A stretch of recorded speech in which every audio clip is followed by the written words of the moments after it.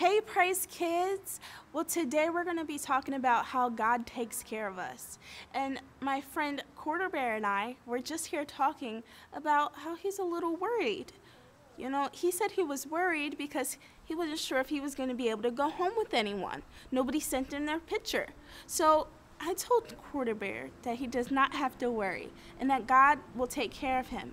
And God takes care of us too if you want to try to take Quarter Bear home, but you can send in your photo, okay? Send it to Praise Tabernacle Church. All right. Well, our lesson today is don't worry. And do you know what worry is? Worry is when you're thinking about your troubles. Yes, when you are thinking about your troubles, that's worry. And sometimes worry can fill us up and make us feel a word called anxious. We could feel anxious. But actually, in the Bible, in Proverbs chapter 12, verse 25, it says that anxiety in the heart causes depression. That's like sadness. And, um, but a good word makes it glad. And, and Philippians chapter 4, verse 6 and 7 says, Be careful for nothing, but in everything by prayer and supplication with thanksgiving let your requests be known to God. And the peace of God surpasses all understanding shall keep your heart and minds through Jesus Christ. So there are a lot of things that we could worry about, right? Things that that when we think about them, our troubles, they can make us anxious. Um, but God said we don't have to worry about those things. We've been talking about the Sermon on the Mount, right? That Jesus gave, his speech to the people.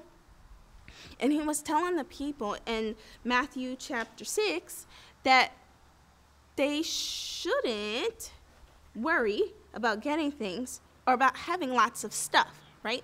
Because the more you have, the more you have to worry about it.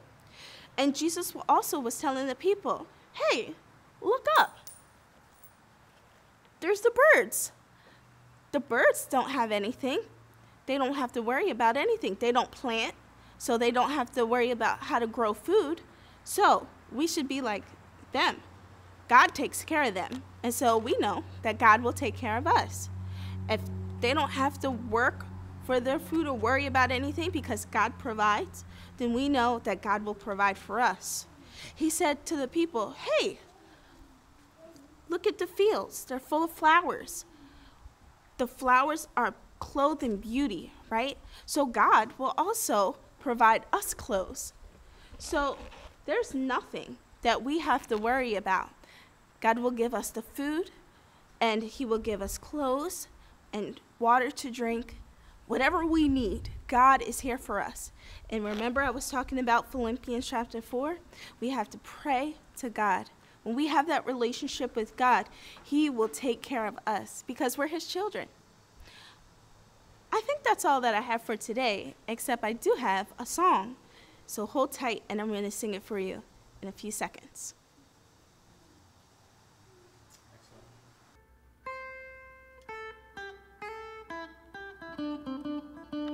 Hey, we're back. I'm going to show you the hand signals, okay? It's to go this way, this way, up and down. Ready?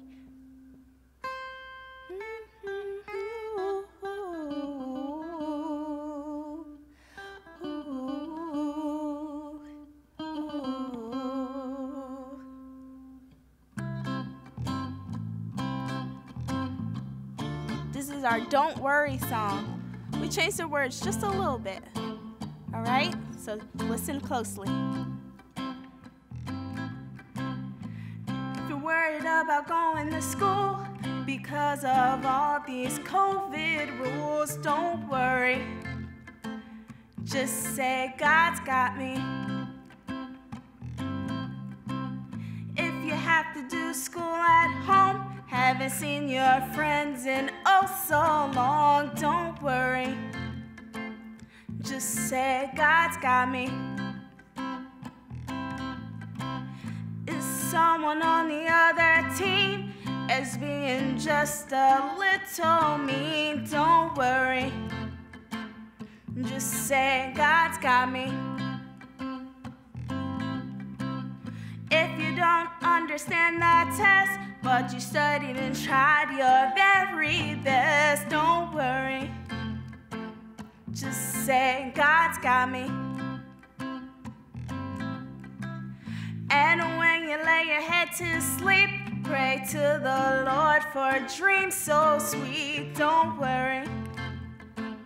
Just say, God's got me. If you put your trust in God, He'll keep you. He'll see you through. Just trust in the Lord.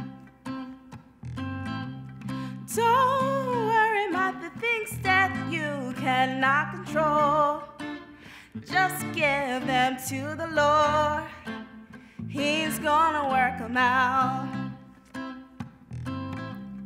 Don't worry about the things that you've been going through. God will take care of you. Just put your trust in the Lord. Don't worry, God's got me.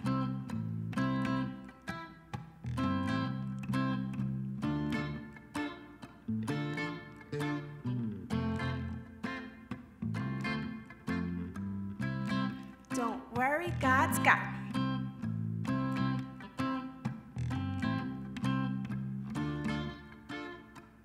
Said, don't worry. God's got me.